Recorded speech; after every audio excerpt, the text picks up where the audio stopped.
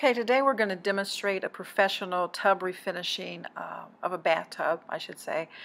Uh, many older homes have gorgeous uh, bathtubs that should be kept in the um, in the property without tearing it out to get a new fiberglass tub. So we're starting with this tub um, stripping of the tub with with acid, an acid wash, as we're putting on the acid wash there, and that removes all the old film and uh, all your old spots and things from the tub. You see it's brushed on there. This is very, very strong, so that's why it's important that uh, we're wearing a mask and have good ventilation. And as you can see, uh, the acid is being kind of like painted on the tub, and you see how the old, um, the old finish is coming off of the tub there. Secondly, we um, have to scrape all of the um, you know, all the, any, any of the finish that's left on you, it's, it's scraped off so that you can get a, a really clean finish. Uh, make sure you're not leaving any sort of residue on the bathtub. That's what he's doing there is um, making sure he scrapes off any excess um, finish from the old tub.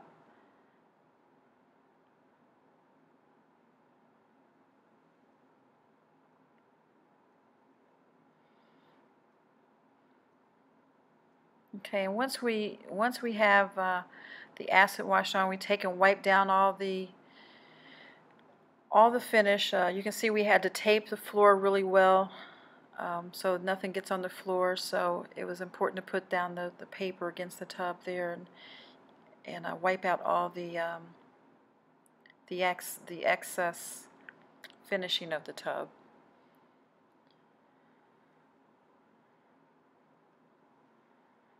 It's important that you have adequate ventilation here when you do this um, tub. And a lot of people will use uh, go to Home Depot and buy a product to refinish the tub, but this process is a process that guarantees the tub for up to about two years, makes the tub look really brand new, and it's really cost effective as far as a bathroom renovation is concerned when you want to preserve the um, current tub that's in there. I mean, this is a deep soaking tub, so there you have it.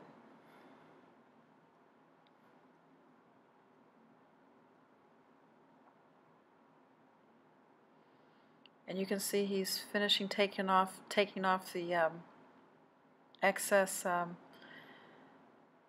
the excess finish from the um, acid wash that he did. So we're just cleaning it up getting it ready for the final process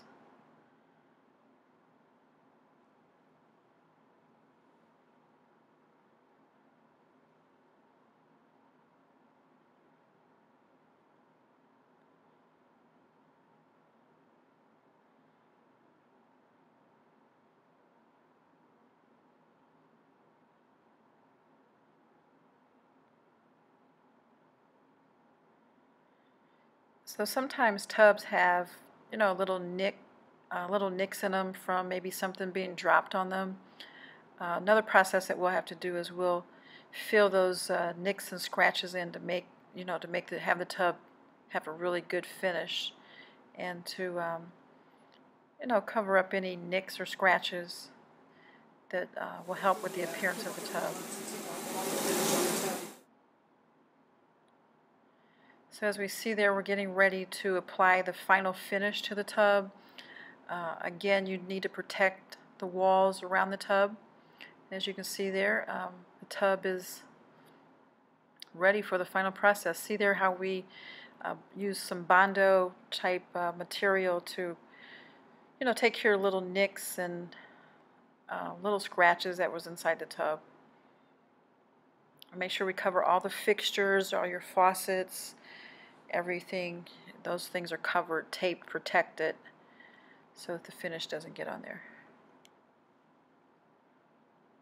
And here we see the final reglazed tub.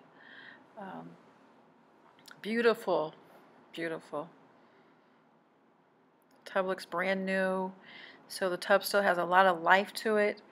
And with this process, it, uh, you know, it was it was in a bathroom that that time period, uh, that tub needed to be maintained, so this is the process we went through.